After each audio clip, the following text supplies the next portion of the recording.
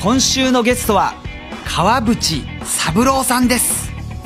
日本サッカー協会が創立したのは1921年9月10日。今年2021年で100周年を迎えます。現在も日本サッカー協会相談役でありその歴史に深く関わってこられた川淵さんにこれまでの日本サッカーについてバンバン聞いていきたいと思います。ちょっと緊張しております。かなり緊張しております。いきなり川淵さんに話聞くってかなり緊張しております。バンドリュウジです。えーそれではバンドリュウジのバンバンバン。絶対に面白いのでこれから30分。どうぞお付き合いください。それでは今日のゲストを紹介します。川淵三郎さんです。よろしくお願いします。よろしくお願いします。今日はバンドさんにご招待を受けて、この番組に出れるなんて僕としてはとても嬉しい。いやいやいやーまさか川淵さんにこう出ていただけるとはというう感じで、ん、いや僕もまさか、はいバンドがこういう番組を持ってるとは。大したもんだなと思って感心してるよ、本当に。いや、あの、川淵さんには、まあ、無邪気にもこういうラジオやってるんで、あの、出てくれますかとうん。いうふうにちょっとメールをうんさせていただきました。うん、だから僕そんなの知らなかったからね。はいそらバンドがやってんならもう、有無を言わさず、自分で有無を言わさずってのは変なんだけど、もう出なくちゃなんないっていうね、それは喜んで出させていただきますって、即答したよね。あ、いや、ありがとうございます。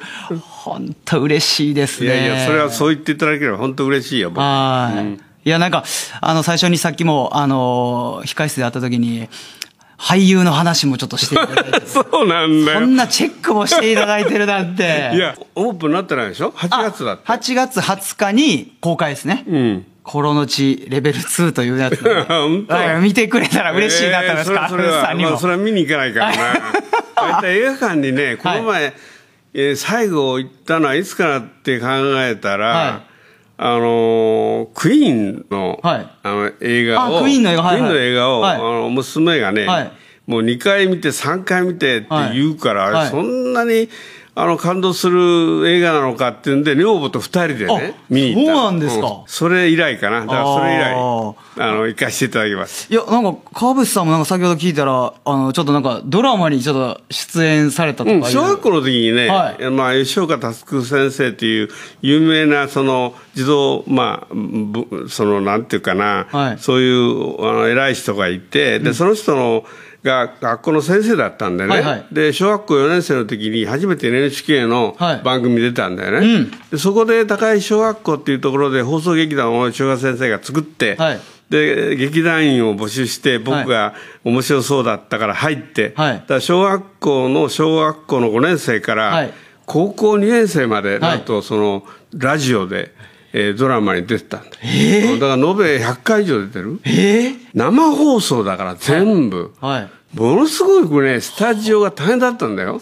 今はそんなことしても平気だけど、はい。そういうんで小遣いをいいですね。ちゃんと小さい時から稼いでたってなるほど。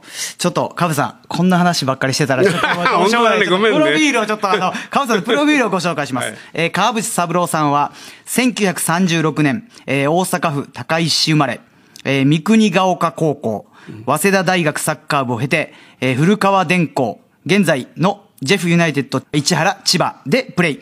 日本代表としても1964年の東京オリンピックに出場。ゴールも決めてベスト8進出に貢献しました。引退後は日本で、えープロリーグを設立することに奔走して、J リーグ初代チェアマンに就任。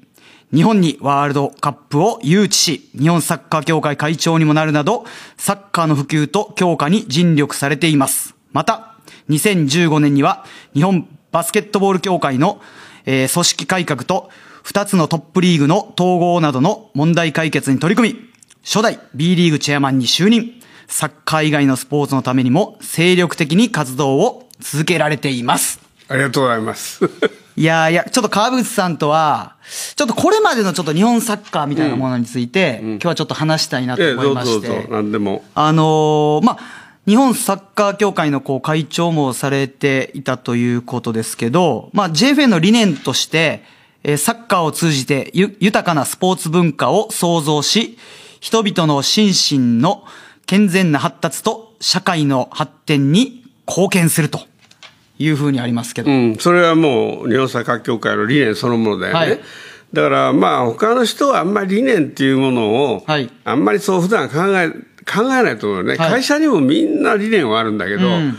名ばかりの理念がほとんどで、はい。その理念に基づいてどういう経営を行っていくか、どういうスポーツ活動をしていくかっていうことを、常に念頭に置いてやってきたっていう意味ではね、僕はせそういう意味では、あのまあ、自慢じゃないけどって自慢だけど、僕ほどはい。理念っていうものを念頭に置いて、サッカー界の発展に寄与した人は過去にもいなかったんじゃないかなと。それは、やはり、えー心身の健全な発達に貢献するっていうのは、心の部分は何をやってんの、日本サッカー協会は、はい。何もやってねえんじゃないかっていうふうなことの思いはい。が会長になった時あって、はい。やっぱり心の、あの、そういう、えー世の中の発展に寄与できるようなことの貢献のために、で子供たちにその夢の教師だとか、はい。もういろんなことをやったのは、はい。その理念がきっかけなんだよね。ああ、夢、夢線ですね。夢のは先生。夢線はまさにね、はい。その心身の健全な発達への寄与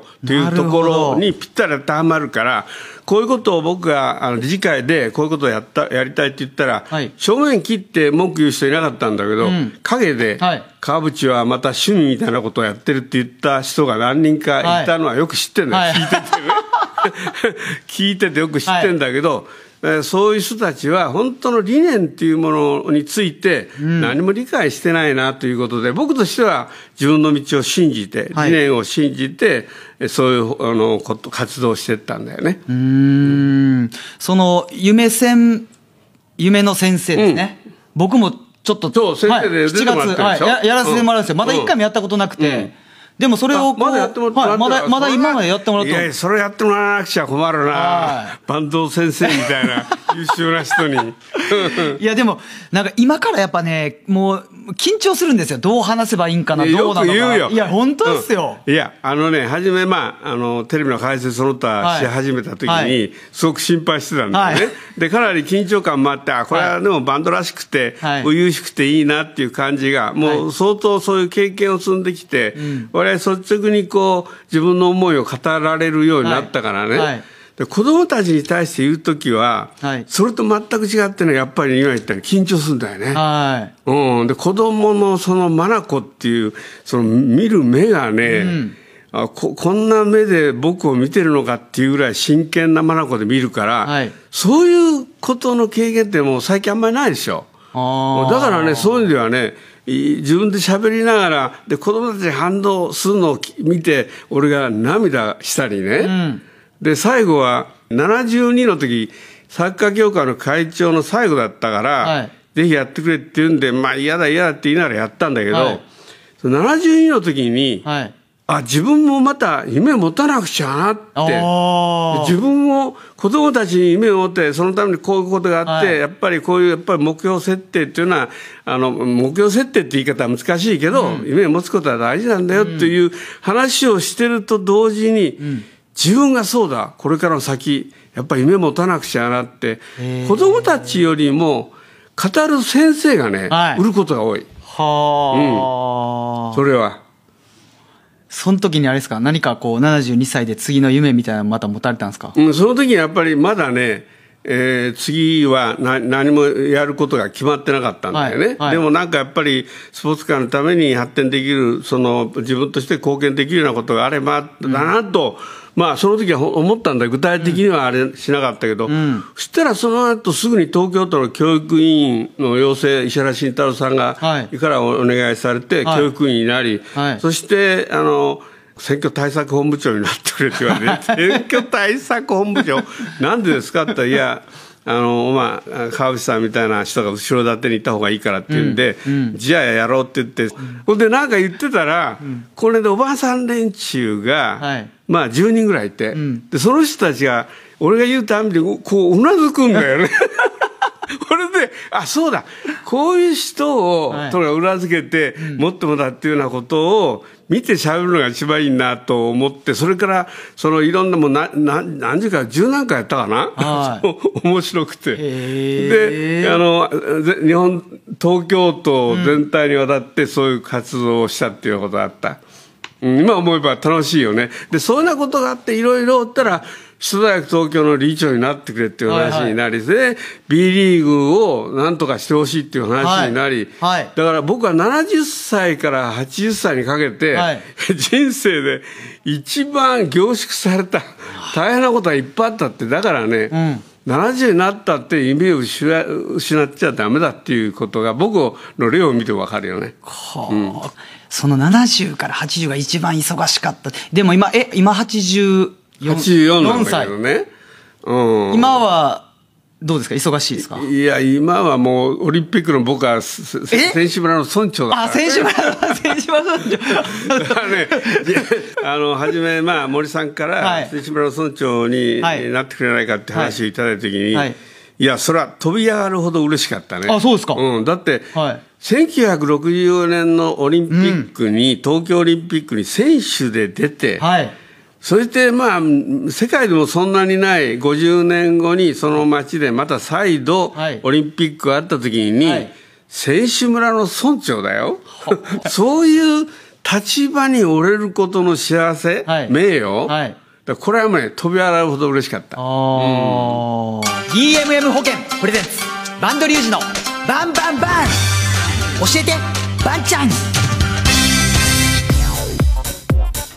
さてここからはリスナーの皆さんからの質問に私バンドリュージがバンバン答える教えてバンちゃんのコーナーですイェイイェイイェイイェイイェイさあ、えー、ラジオネームあかんたれさん、ありがとうございます。えーいつも楽しみに拝聴しております。拝聴してくれてるんですね。拝んで聞いてくれてるってことですか？ありがとうございます。えー初めてお便りします。いや、嬉しいですね。えーバンドさんはいつでもお元気で落ち込んだことがなさそうに感じます。もしも落ち込むようなことがあった時は、どうして解消しておられますかと。いやー、あかんたれさん、ありがとうございます。あのー落ち込むことですね。多々ありますね。毎日落ち込むかもしれないですね。あのーまあ、今日もですね、まあ、川淵三郎さんとのお話ですけど、あのやっぱり前の日からちょっと緊張するわけですよ。ああ、ちゃんと喋れるかなと。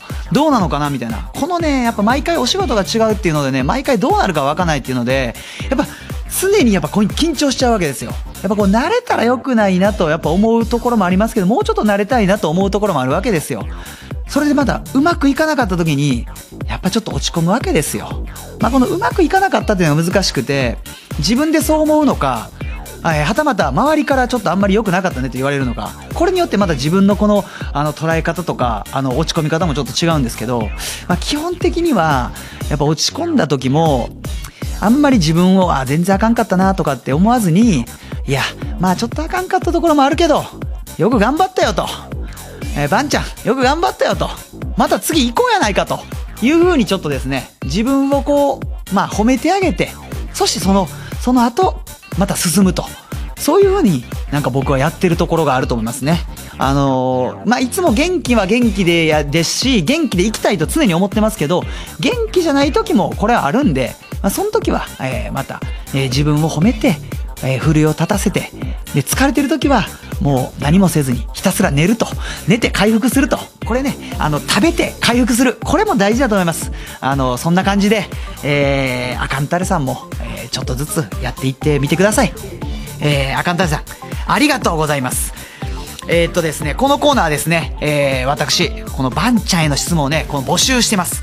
紹介させていただいた方には、番組オリジナルのクオカードと番組ステッカーを、えープレゼントします。え、でもね、この紹介しなかったとしても、この送ってくれるだけで、えー、この番組ステッカーね、今ちょっとこの見せてますけどね、これをね、番組スタッフがね、勝手にね、バンバン送っちゃうかもしれないのでね、紹介されなくてもバンバン皆さんね、あのメールください。えー、メールはですね、えー、バン、アットマーク、abc1008.com、ban、アットマーク、abc1008.com です。バンバンお待ちしています。DMM 保険プレゼンツ。DMM 保険プレゼンツ。バンドリュージのバンバンバン。川口さん、えー日本サッカー協会のこう仕事始められたのは？僕はやっぱり、あの、うんと、1988年に、はいえー J リーグ、J リーグの前、前身である、はい。J- JSL、JSL の総務主事になって、はい。で、その時に、総務主事はあサッカー協会の理事になるという、自動的になるような感じになって、あーなるほど。そんで初めて、あの、サッカー協会の理事になったんです。はいあそれが最初。1988年ねそうそうそうそう。その頃のその日本サッカーのこの状況っていうのはどうどういう感いじなんですか？やもうね、僕はその仕事一心ではい。やっていて、でもううんサッカーなんか関わりない、俺は会社の中で偉くなると思って仕事やったけどな、である日突然、僕、その時名古屋の営業部長やったんだけど、ものすごい業績を上げて、はい。でこれはもう絶対本社のうん取締役で、あの本社に帰れると思ったんだよね。ところが、そのある時支店長から電話がかかってきて、あのどうしても話があるんで、その名古屋支店に来てくれって、その日休み、俺や、休休暇取ったんね。ででや休みだからこう電話で言ってくださいよ、いや電話では言えるようなそんな話じゃないんで、どうしてもその本人と会って話したいって言うから、いやこれから出かけるんでね、もう電話で僕がいいって言ってんだからいいじゃないですかってそんな電話で言いにくいことですかって言ったらさうーんもうすごくその支店長がもう悩んでるから、い、や何でもいいから言ってくださいって言ったら、関連会社に出向してくれくれと決定されたって言われて、そんなことを電話で言うんですかっては言わなかったよ言わなかったけどあ言わなかったですね言わなかったですね言わなかったけどねで顔面蒼白ああそうですか、うん、もうね、ショック、あれほどのショックは、あのドーハの悲劇で同点になった時以来、二つやね、こっちの方が先だけどね、はいはいはいまさかそんな、そこに行ったらもう自分はあ帰ってこれない、年から言って51歳だから、うん。で、それがきっかけで、JSL の総務主事をやらないかって話があって、で、名古屋から大阪に、東京に帰らなきゃいけないから、じゃあまあ、こ残りの人生、サッカーにかけるかっていうんで、戻ったんで、あその、そうん、僕がお古川電工で偉くなっていたら、はい。あの、その戻ってなかった。はあ。うんそれをこうまあ JFA でなってどういうふうに変えないといけないみたいな感じはあったんですか？うん要要は基本的に、いまあ、お多くの人があのそのサッカーが面白いと思って見てくれるためにはどうしたらいいかっていうことだよね。そうすると僕はその時一番初めに選手がね、本当にもういいプレーしない、ん。みんな感動を与えるようなプレーをしないからお客さんが来ないんだ。もっとしっかりあれ、審判に文句言うんじゃねえ。うん。いちいちその一回ひっくり返ったら、痛い痛いって寝っ転がるようなことをやってたんじゃ話になんねえとか言ってね、うんうん。選手に対してね、ええ相当、そういう厳しい言い方した。うん。で、ある時に、あれこれ違うなって、へやっぱり緑いっぱいのうん。芝生の上で、お客さんがいっぱい入っているスタジアムの中で試合をしたら、選手はその環境の下で一生懸命面白いサッカーをするに違いない。考え方が全然違うなという。そういうことから、プロを、日本にプロを作らなくちゃいかんという、なるほど。そういうことで変わっていったんだね、僕自身が。へうん。ーそれでまあ初代のチェアマンになられて、うんどうですか？あの、93年の5月15日。まあ今、やっと28年は経ちましたけど、うんずっとあの、川淵さんの宣言が出てくるわけじゃないですか。ああ、そうそうそうそう。あの時とかはその、緊張したりとかどうっていうのはなかったんですか、うあれはさもうやっぱり緊張してたよね、はいあのえー初めに開会宣言を言うか言わないかでいろんなことがあって、はい。やっぱり歴史的な出来事だから、絶対川淵さん挨拶した方がいいよって、あのマスコミの人がいろんな人人から言われて、で自分であのどういうふうに短く分かりよく言うにはどうしたらいいかってあの文章を考えたんだよね、でその時に30秒ならばテレビでも映してもらえる、でなおさらに言えばえーこの J リーグはこれから何十年も続いていくだろうから、開会式せ開会宣言っていうのは何回もテレビに出てくるに違いない、はい。そうなると30秒は短いから、せめて15秒。うん。それでスポーツを愛する多くのファンの皆様に支えられまして、J リーグは今日ここに大きな夢の実現に向けてスタートします。うん。で、それが15秒なんね。はで、1993年5月15日、ここでどっちからも切り取れるようにして、J リーグの開会を宣言します。J リーグチェアマン川淵三郎というこの日にちを両方またぐことによって15秒、15秒でちょうどなって30秒。だから今、あの、いろいろテレビ見てると、はいそういう半分で出てくるから、ほら見たこと、僕の思い通りじゃないかっていうのが、うん、うん、我が言えたりってやつだね。そういうのを、こう、見越して、うん。その、まあ、J リーグ、こう、100年構想とかもそうじゃないですか。その、見越して考えるっていうこともあるんですか、いや、ほとんど見越し、それはもう完全に見越してるわけだよね。はだって、あの、すものすごい長い挨拶、誰が何遍もやるかって話でしょ？い。そうですね。うん。だから、なるべくコンパクトに、で、なるべく思いをいっぱいここに込めてってな、だからそういう先読みしてでないと、あんな挨拶文はできないよね。まあ、J リーグ、まあ、28年うん。経ちましたけど、まあ、こう、急成長というか、うん。してるじゃないですか。うんこの始まった93年に、から考えると、その辺のなんかこの、まあ、要因というか、うん。そういうのはどういうふうに考えます？かややっぱりね、一番初め、地域に根ざしたスポーツクラブ作りって言ったでしょ、はい。J リーグ入る基準は、はい。1万5000人以上使用できるうん。競技場を確保すること、はい。ということだから、はい。それはあの陸上競技のトラックがあろうとなかろうと、ともかく芝生のあの観客席であっても1万5000と見なせれば、それは入れますよっていうのが一番の条件だからね。はいそれでも1万5000、サッカーで今まで5000人入るのはそこそこで、普通何百人っていう試合いっぱいあるのによくそういうことを言えるなっていうのがスタートだから。あでそれが、まあ、鹿島が入りたいってことが言ってきて、ん。で鹿島なんかはもう本当の地域の4万5千の人口の中で本当の田舎の町でなプロうクラブがそういうところで成功するなんて誰も思わないじゃない、僕ももちろん思わなかったけど、はいはい。これ熱心で熱心でなんとか地域社会の発展のためこれそれこそ地域社会の発展のためにそのプロのクラブを鹿島に呼びたいですって言ってきたから、でももう諦めさせてやろうと思って、観客席に屋根のついた1万5千人使用のサッ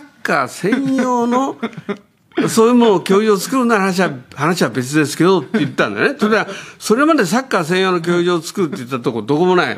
ましてや屋根なんか、それまでそこまでどこ、どの競技場も屋根なんかついたとこどこもないわけだよね。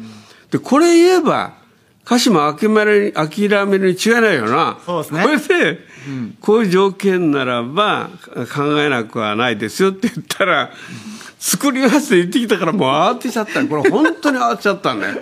えらいことになっちゃったなって。でそこから始まってんだから。なるほど。いや、やっぱ、いろいろなちょっと歴史があるといや、いうもういろんことですね。なね、もうあの、エピソード的なことを言えば、ねもう入って捨てるほどあるね。ねえ、ちょっとそれを全部の全部の全部ちょっと聞きたいですけどい。やいやいやいや。聞いてたらちょっと話がもう一日仕事になってしまうんで、いやいやあのーいや、今日は本当に川淵さんの、えーこれまでのいろんな話を聞けました。ありがとうございました。やいや、こちらこそありがとうございます。